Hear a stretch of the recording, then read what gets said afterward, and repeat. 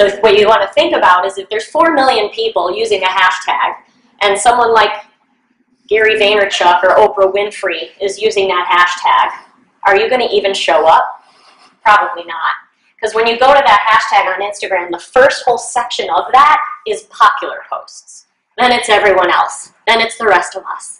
Right? So it may be useful to try using some of those multi-million hashtags that the celebrities and influencers are using. But it might also be helpful to look at some of those hashtags that only 250,000 people have used, because you might start to show up at the top of that.